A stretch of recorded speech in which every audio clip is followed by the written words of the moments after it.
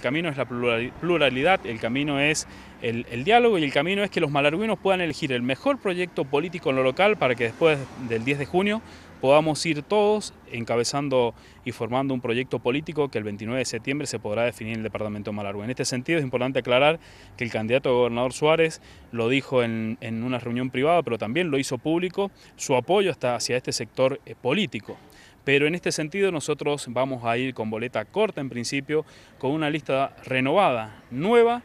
donde nos hemos animado a que el cuarto distrito tenga también una lista eh, local, una lista donde hoy nos representa en segundo lugar a diputada provincial una preceptora, una docente, una persona que hace un tiempo atrás le tocó ser mi preceptora en mi escuela, secundaria y hoy está trabajando en una escuela albergue como es la Escuela de la Junta. Eh, que es de Olinda Mercado, normalmente o, conocida justamente porque su padre, el maestro Mercado, eh, generó o desarrolló una tarea social y educativa más que importante en nuestro departamento. La verdad que lo digo con orgullo, hoy tenemos la posibilidad de tener una candidata en la legislatura provincial en segundo término a diputada provincial local, eh, como es Dolly, eh, comúnmente reconocida, y con una trayectoria en la docencia más que importante.